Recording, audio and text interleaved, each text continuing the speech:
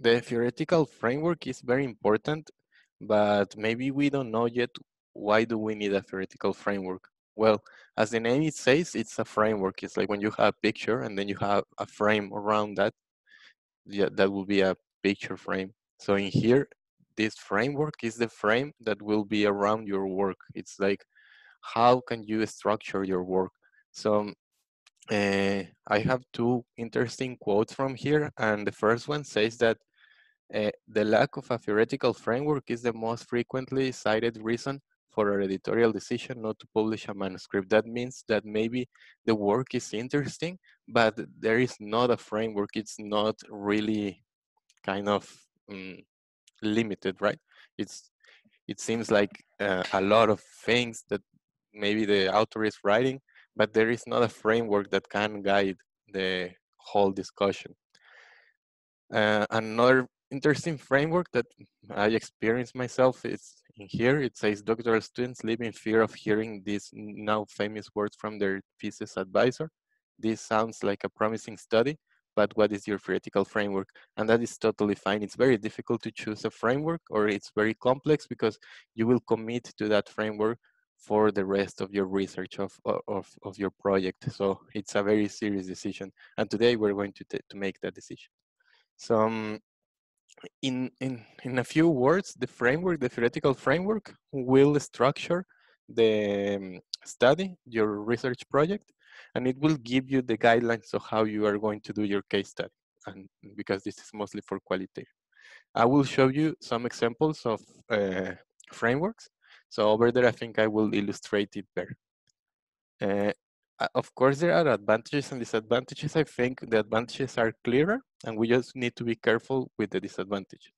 So the first advantage is that it really helps us to theorize the empirical findings without a framework that is very difficult. Without the framework, then the case study can be just a case study, something that you read on the newspaper or something like that. But the, the framework will help you to theorize things. Then uh, the second point is what I said, it helps you to structure the research plan. It gives a structure to that. And also it provides a comparable organization in terms of the writing, which is conceptualized as something that is called materiality. So it allows other people to understand your work from a broader perspective. It means like if you're studying um, a specific organization in Tepatitlan, if you use the framework, then someone who is from Russia might be able to understand the theoretical uh, contribution of your paper. Otherwise, it's just reading news from Tepatitlan, right? So the theoretical framework will help you to do that. And mm, finally, the disadvantages, which I, which I think we, we only need to be careful about this, is mm, it's impossible to, to avoid, but the frame, all frameworks have limitations. So there is not perfect framework. It's more about which framework fits better for your data and your object. And second, sometimes the framework forces us to be quite biased on the results.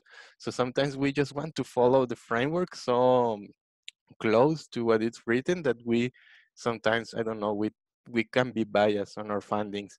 And that is not what we should be doing. If we find something that contradicts even the framework, we should criticize the framework too. Um, so just uh, a, a, few uh, tips for choosing the right framework. I think the number three should be the number one. Read and understand the framework. It's very important that you understand the framework completely. Uh, you need to read about the framework uh, I mean the, the, the, the, explanation of the framework, but also other papers or other studies that have used the framework. That is very important. And here it, it, it, it turned into Spanish. But make sure that the framework fits with your theoretical discussion and also with your data. It's like if the framework talks about um, the individual level, make sure that you have data to show that the individual level. If the framework talks about institutional, the institutional level, the industry level, make sure that you have data to talk that discussion. So maybe right now you're a bit confused and maybe you're still saying, but what is a framework? I don't really know what is a framework. So I will show you a few examples of what is a framework. Let me change to uh, Chrome, where I have a few examples. So uh, I think I can start in, in this one. I think, no, this one. The levers of control framework is very famous. It was uh, proposed by Robert Simons from Harvard in 1994. It is very, very uh, famous and popular. It's the same guy who um, designed the balance scorecard. So, you know, balance scorecard is super popular everywhere. This is maybe not as famous as the balance scorecard, but it's also very used everywhere. So this framework is about um, management control. So according to Simons, management control can be framed in these four levels of control. It, they're like uh, systems of control. He also calls to that those things. So he says that there are four systems of controlling an organization. So the first one is the belief systems, which is mainly like values. Why, what do we care about? Like for example, in Tec, we care about students and we care about research and we care about um, the net, doing networks with the industry. So that's mainly the beliefs from Tec. Then boundary system. Boundary system is why where we don't want to be. So for instance, maybe in Tec, we don't want to be um, an, a university that has, I don't know, a million students. We don't want to be something like that. We don't focus on big numbers. We focus more on quality. So that would be the boundary system. We don't want to go in there. And then we have interactive control and diagnostic control. Diagnostic control is like the typical control that we have maybe uh, some financial measures, like maybe Tec has that too, like maybe the return over investment or maybe the, uh, I don't know, profitability, something like that. Those are the typical diagnostic control systems. But the interactive systems are different because interactive systems are systems that are aimed to react according to what happens on, on, on, on practice.